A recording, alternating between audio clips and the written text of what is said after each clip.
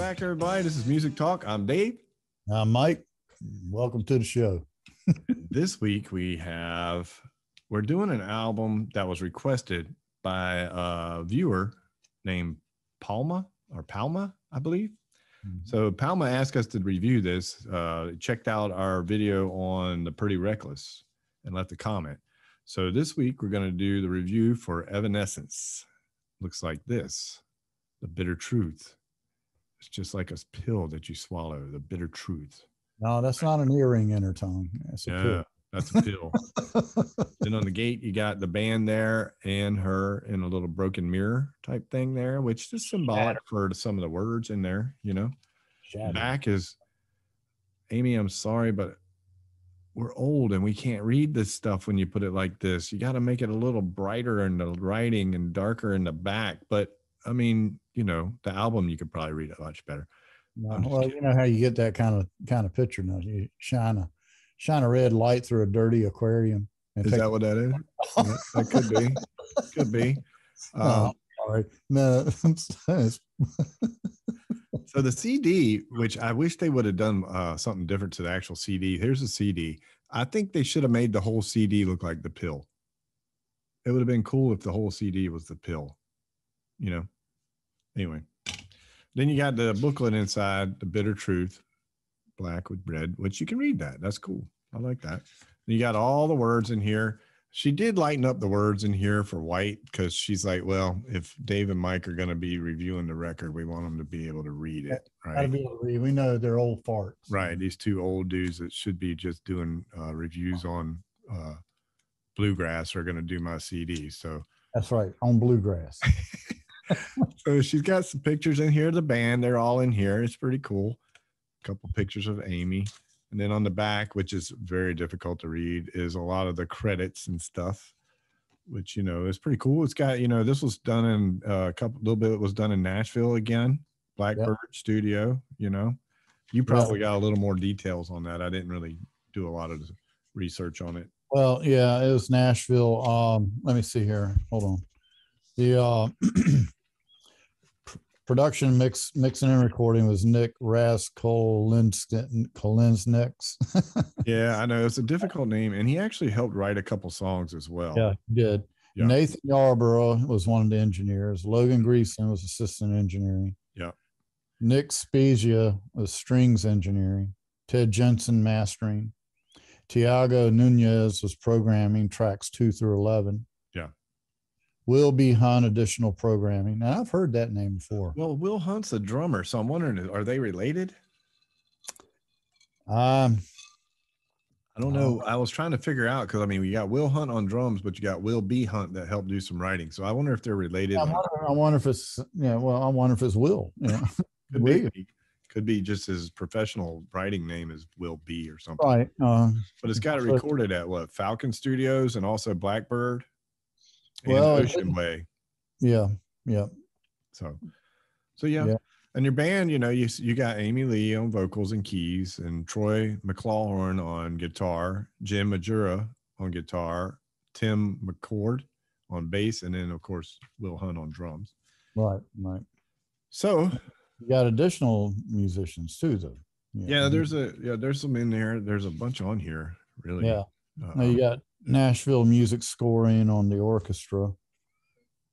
Yeah, yeah, the string Doc section. Kirkland on yeah programming, yeah. but you got Deanna Jacob, Jacob uh, backing vocals on track eight. Lizzie. Yeah, we'll talk about that when we get to eight. Don't be spoiling all that. Wait until we get to track all eight. Right, all right, all right, all right. Come on now.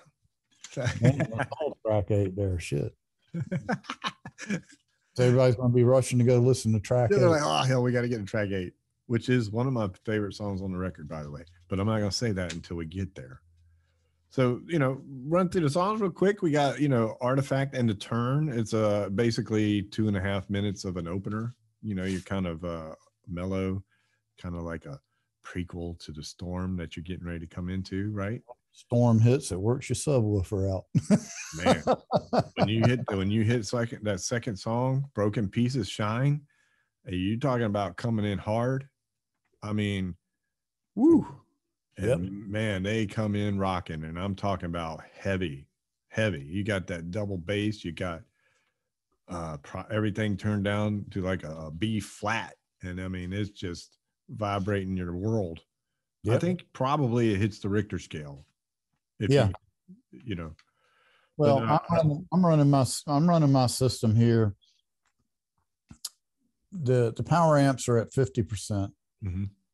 And then I've got my Nano Patch L pad here, which drops everything down coming out of the mixer.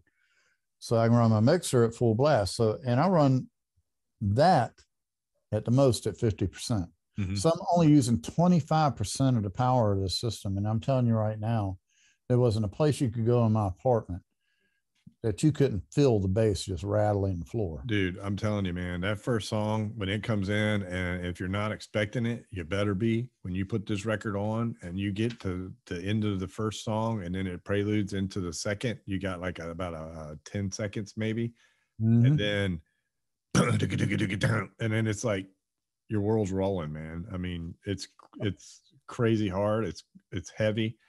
I loved it.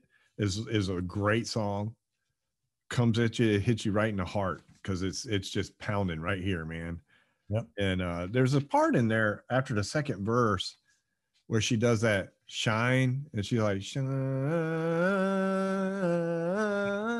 And uh, man, that was such a beautiful vocal line when she did that.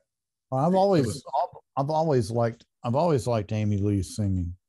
And what yeah. I like about it, she's not screaming at you. She's singing. She's and, singing, yeah. Well, and this- I've read reviews where people say, "Oh, she's off key and stuff." No, no, dude. There is nowhere that I've ever heard Amy Lee off key. Even no. on a bad night when she's sick, she's yeah. killing anything out there. This album really pretty much just, you know, is a reminder that she is the high priestess of of singing rock and roll. Honestly, yep. especially hard rock. I mean, she's top notch, man. I mean, you don't get much better and female vocals than what you got on this record right here. I mean, what you uh, what's going to get you close to it's Ann Wilson. Yeah. I mean, and if you listen to Ann Wilson sing, it's the same thing. Ann Ann gets a little bit more gritty, mm-hmm. but but Ann doesn't get as hard and heavy. I mean, this this is just gets straight. real dark. This, yeah, this is dark and heavy. Yeah, it's dark and heavy, no doubt. So. Yeah. So then yeah. we get to song number three. I know we've already talked like five minutes and we ain't even got to song three yet, right? Mm-hmm. Song three, the game is over. Love that vocal, the way she does that. Had enough. You know, I love that. Had enough. It's, that was just awesome, dude. And then uh when she gets into that uh uh that part where she says, uh, where is it at? Um I believe she said, uh, change me into something I believe so I don't have to pretend, right? So she's hitting that. So when she hits that, so I don't have to pretend, and she nails it really up in that high register and then drops way back low to hit that second verse. It's like that's dynamics that you can't teach. Right. You know what I mean? Right. It's like that's a passion. It's in the heart. It is. It's and it's also a talent, but it's more of the passion of the music. And you know, they they were absent for a while. This band's been around for a while, and this is oh, only yeah. fifth studio album. Yeah. And reason being is uh, they took a hiatus, and Amy Lee sued the record label for back uh, royalties, mm. and won the lawsuit, but only got 1.5 million. But it took all that time, and by in doing that, which is probably what the ultimate goal was, was to get released from the contract. Right, right. And you know, more power to her. I mean, yeah. to me, that just tells me it's not about the money with her so much as it's the music. Yeah. Now, granted, money is going to attract the talent she needs behind her. Yeah. But you know what? If I don't know, I just wish people could get dollar signs out of their eyes and go with their heart. Yeah. And and what I was gonna say too about this song, "The Game Is Over," when she says something, when she goes into something, the way that she says it, it's like it has such a conviction about it. That's the mm-hmm. best thing about Amy Lee is there's certain times when she puts everything she has into one or two words, and it's just unreal, man. Um, yeah, and and and it and is it's a passion like you said and you can't get that you can't you know you have to have that in you. You can't just learn that. And i mean she's, no, you she's, can't you, you you you can't learn it. And it's mm-hmm. also something too that will forever live in anybody's heart's got passion for it but you've got to exercise it. Yeah exactly. And you know they have been on a hiatus but when you know this album uh, i don't see where she's lost a step at all no, yeah. then you then you get to song number four, which is yeah, right. And to me, it was kind of like a mix between a Muse song and a Nine Inch Nails song. You know, that, you know what I mean? Because yeah. you know that starts out with that. It reminded me of Muse, right. and then it goes into the Nine Inch Nails. You know, uh, it just had that sound to me. It was pretty cool. Uh, right. Now, this was the only song on the album with a guitar solo.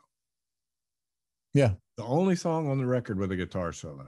But y'all mm-hmm. get into that later after we go through all the stuff. well, you know, Metallica went through a, a, a, period of where they didn't do guitar solos. You know, it's like who? who's that? Metallica. Metallica. I'm not sure who, who they are. Who, you know, the one with the asshole drummer. Oh, I'm sorry. Oh, yeah. so then you get to number five, and it's uh feeding feeding the dark, right? Mm-hmm. And it, and it starts out a little different. It's got that that bass with the boom boom. You know, that's that's pretty cool.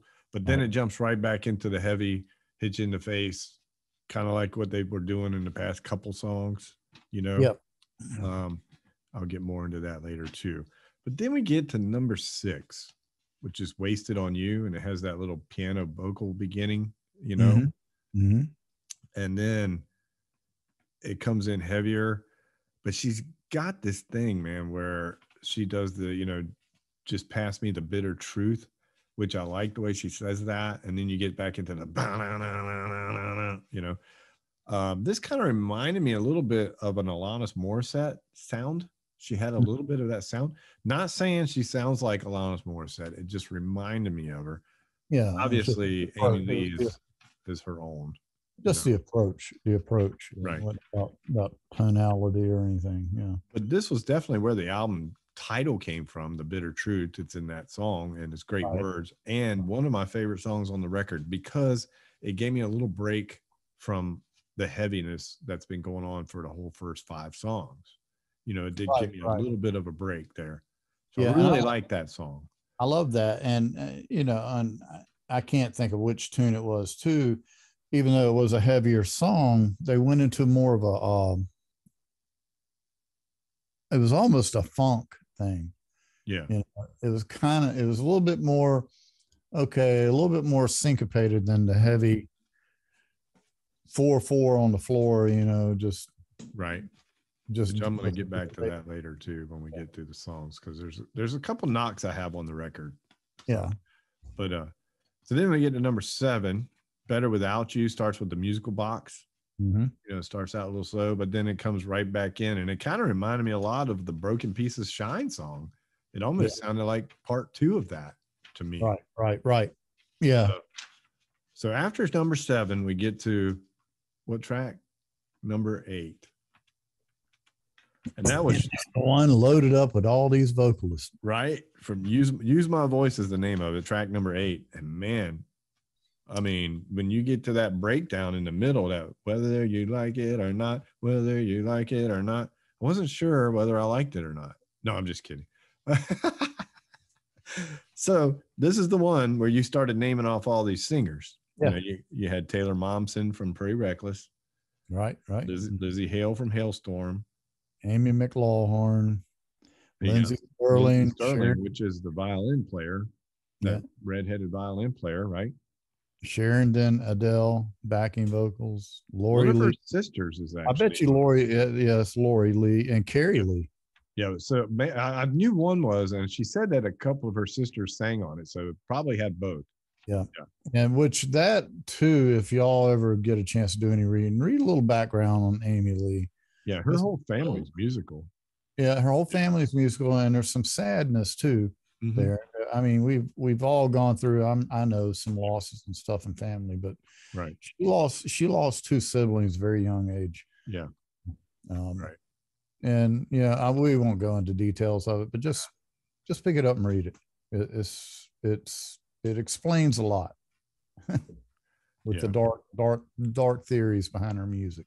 So use my voice was really cool too because the words were pretty awesome, you know. And then when she sings that one part, um, um, "Don't you speak for me," you talking about passion, man.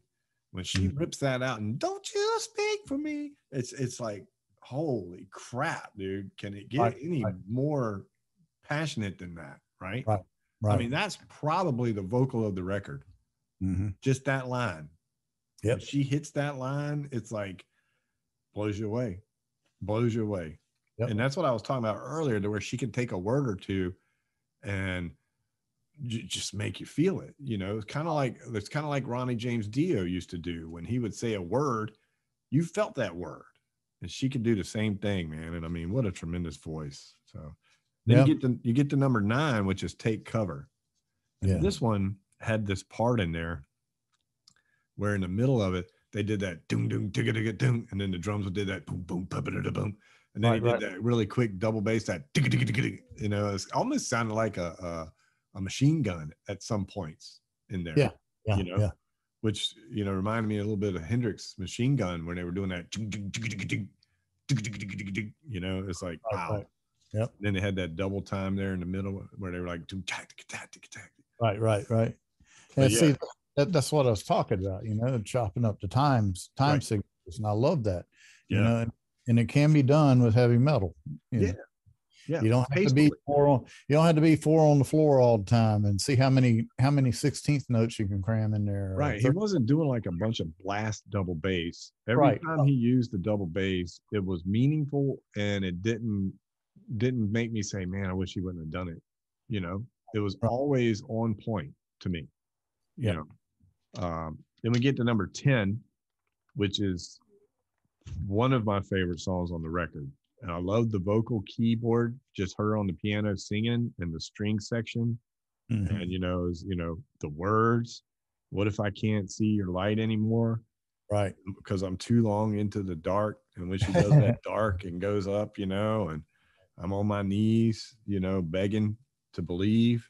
And I feel so far from heaven. I mean, it's like, I mean, I felt that song. You know what I mean?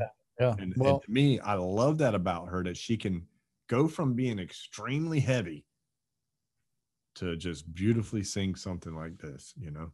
Well, see, there's very few, very few artists that I find that can literally stir stir me deep emotionally. You know, I mean, very few. Yeah. Amy, Amy's done it on a couple of her songs. Um, you know, but you got to go a long way. I mean, it's it's a special talent. You know, it um, is, and I mean, I mean the the passion that she brings, and it's effortlessly. And then one more thing about that song, it was totally different from the rest of it too. Yeah, which was nice to come down from that big giant, heavy, and then now you got this beautiful song, and then number eleven, bam, right back in your face. that was part of me, which is kind of similar to the rest of the album to me. And the same with the last song, Blind Belief. You know, it has a has that great apocalyptic intro type thing going on, but then it kind of sounded similar to some of the other songs again, even though in the middle it did ease up a little bit on the verses. But I kind of I, I, don't know. I, I think they could have prob I mean, you know, I'm not gonna say they could have left one or two off, but I did get to a point where the album sounded a little similar on a few it songs. Did. It did. But I mean, all of Evanescence through the years have pretty much had the same formula. and we were talking about it before we started actually recording the show. yeah. Um the whole trick to their sound is making sure that you got a rhythm guitar and a bass player that are duplicating what the drummer's doing with his bass drum. Right. That is one of one of the formulas to to to the songs that right. happen. That's their formula. Exactly. I'm not taking anything away from that formula. No. I just wish at times though that they could stop and I know they're using an acoustic piano and some stuff. Because Amy's accomplished uh, pianist. Mm-hmm. I wish that some of the other musicians could pick up a mandolin or something and a nice acoustic guitar and they break it down and right. And that's uh, and that's kind of why I liked Far From Heaven so much because right, right. You, know, you had a lot of moody stuff in the background, some strings, a little percussion going on. Yeah, but I'm not asking you to go out there and do barnyard stomp or whatever, you know. I mean I, I, I agree with you. Yeah. I, I just think that there are times and I don't care what genre you're in. Mm-hmm. You're at one time or another, you're all going to be sitting around on a front porch somewhere and you ain't got amplifiers and you don't have drums. So yep. what are you going to do? You're going to sit there and go, well, okay, just think about the music that you want to play.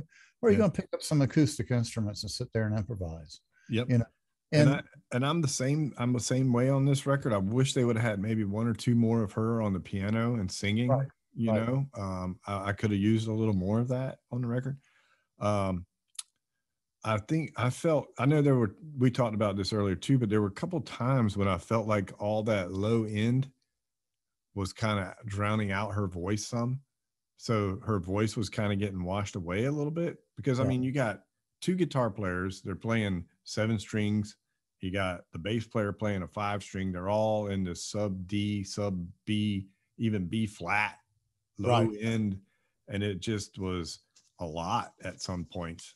And it kind of got similar to each song, kind of did the same deal. You had the two verse chorus, a vocal solo, and then back to the chorus or verse. Because and, and I wish that they would have had a couple more guitar solos in here. I, I really wanted some more guitar solos. You got two great guitar players. Yep. But you only had one guitar solo on the whole record out of 12 songs, you know? I got to be honest, though, I didn't notice I didn't I didn't I didn't notice the lack of the guitar solos. Yeah. I mean, the album entertained me thoroughly all right. the way through. Um, well, you had her doing a lot of the vocal stuff, so it kind of covered. Like instead of doing guitar solos, she was doing vocal solo work, right? And then a couple rhythm things going on, you know, in the back. But the kicker to that whole scenario is, is the guitar player that they brought in. What's his name? Uh, uh, Troy uh, Troy McLawhorn. Yeah. yeah. McLawhorn, um, he also teamed up with her to be her writing partner. Mm-hmm. So this is something that they went for. Yeah. Now I don't know in the end. Of course, you know too how this goes. Uh, producers step in and go, "We got to cut this. Got to condense it down. Right. Got to do this and do that.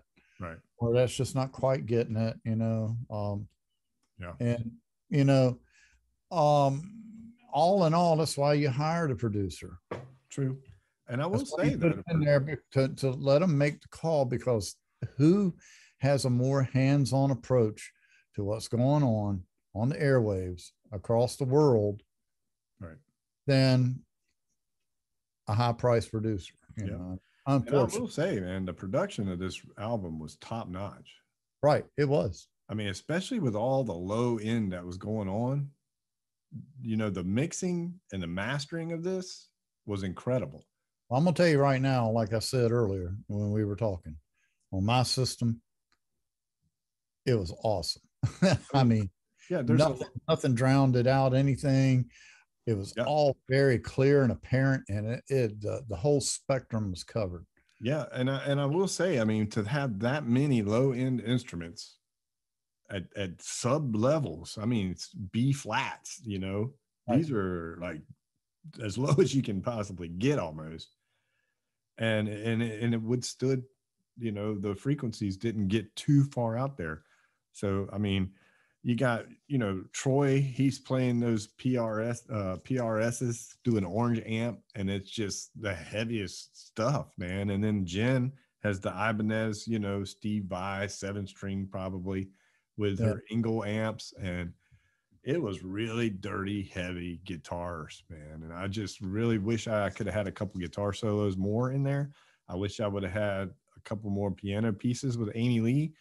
I think if you don't give Amy Lee the high priestess of, of hard rock, then you know something's wrong with you because yeah. this girl already, is the already top, won yeah, she um she should have. She should. She already be. won that. I've got that. I got that in the notes over here. They yeah. her awards and everything.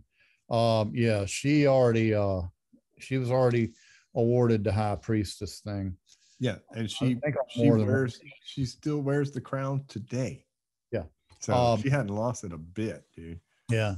Now you're talking about Troy and his instruments and stuff, and I I downloaded his stuff. Okay, here he's got one, two, three, four, five, six, seven Gibsons that he uses, and one, two, three, four, five, six, seven, eight PRSs, and a Boulder Creek acoustic guitar. Right.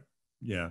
So he had a Yamaha that he was showing in one of his demonstrations to a Yamaha acoustic.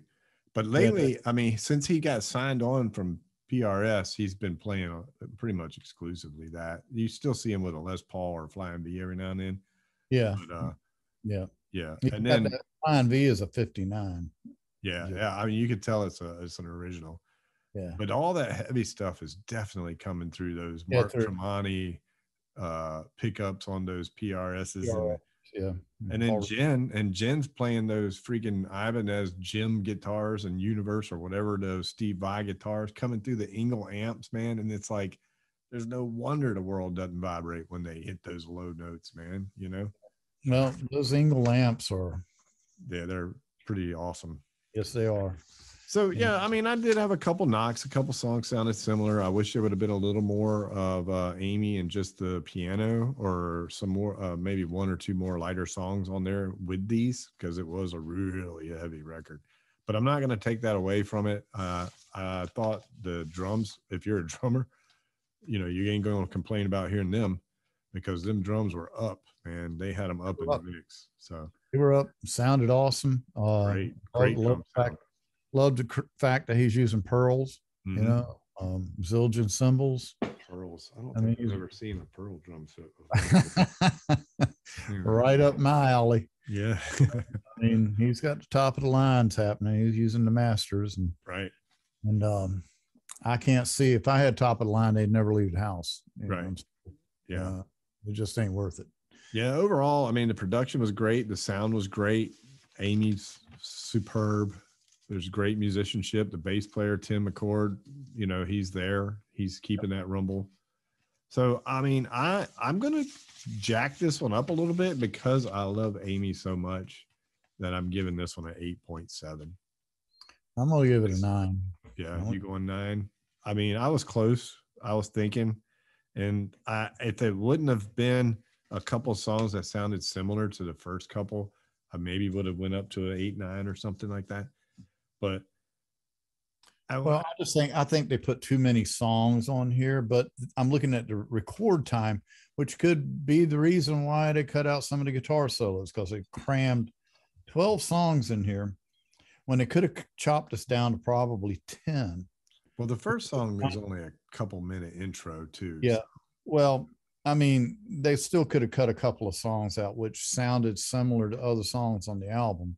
Right. And extended them with some guitar solos. But like I say, you know, we're we don't know what's going through the producer's mind. No.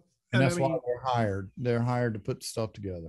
And obviously, when you think of Evanescence, you don't think of screaming guitar solos. You're right. thinking Amy Lee, and that's what they've done is they've highlighted her you know they did her do let her do the solos more than anything so mm-hmm. but overall great record man i mean definitely heavy i mean it's one of the heaviest records we reviewed this year yep. as far as just total heavy you know the whole thing i mean it it it barely gives you a breath before they hit you back in the face again you know so yeah i mean kept me entertained i mean yeah, i, I mean to it I, I wasn't tired of it at all i'm probably going to listen to it some more I've actually listened to this song album about 10 times. It's a great grass cutting album. I, ain't gonna lie to you, man. You you start weed eating with this on and you'll be done before the third song. I just I just wish I could figure out how when I'm driving bus to listen to music. You know, I yeah. ain't figured that one out yet. you have to get some ear earbuds that you can't nobody can hear. Got to hear the bell ring, you know. yeah. What bell? I can't even hear bells anyway. All right, well, we'll wrap it up. Um, Evanescence, The Bitter Truth looks like this. Don't swallow the bitter pill. That's right. So I gave it an eight seven. Mike gave it a 9.0. Great record, heavy That's record. Uh, Amy Lee shines. Thanks to Palma for requesting us to do this. Uh, yep. Definitely worth the listen and worth the buy. Go get it. I probably I might even buy this one on vinyl. Yeah, I'm gonna go for vinyl on it too if I buy it. yeah, know. I bet it's um, gonna it'll sweep through this room. Okay. All right. Well, that's it. Until next time, you guys stay safe. That's right. Peace out. Listen to the music.